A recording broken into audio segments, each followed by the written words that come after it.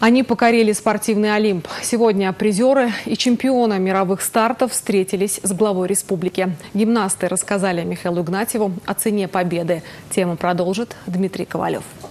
На троих четыре медали. Нынешний сезон для гимнастов республики выдался довольно успешным. Чувашские спортсмены отличились сразу на двух континентах. Алексей Германов поднялся на высшую ступень пьедестала в польском городе Вроцлав. В этом году именно здесь проходили всемирные старты. Пройти отбор в сборную страны было непросто.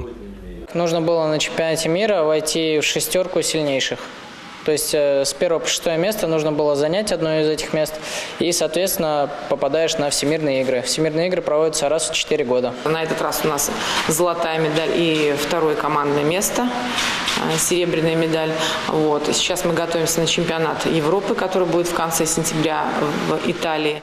На тренировочные сборы уже на этой неделе отправится и Владислав Полешов. Спортсмену предстоит выступить на чемпионате мира в Канаде. Своеобразной разминкой перед престижными стартами стала универсиада. В копилке Владислава бронза и серебро. Медаль высшей пробы в Тайбэе завоевала Евгения Шелгунова.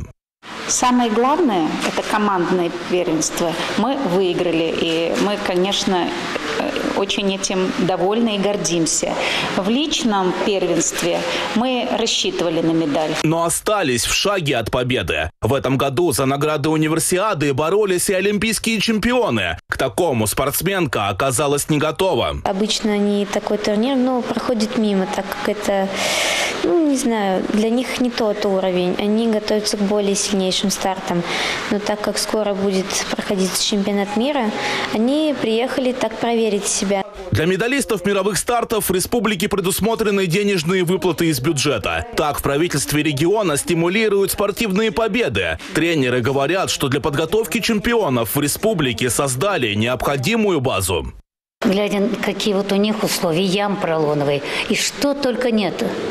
Расти, расти чемпионы Олимпийских игр. Поэтому, конечно, приятно. Я не думал, что будут такие условия. Тем не менее, видите, я работаю в этой школе спортивной. Владик вырос в таких хороших условиях.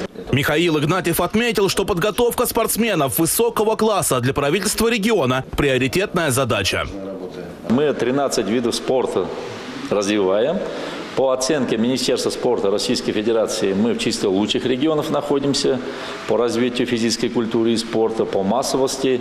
Наша задача планку э, поднимать, э, с каждым годом все лучше и лучше. Но мы последние годы очень много объектов построили, миллиарды рублей вложили.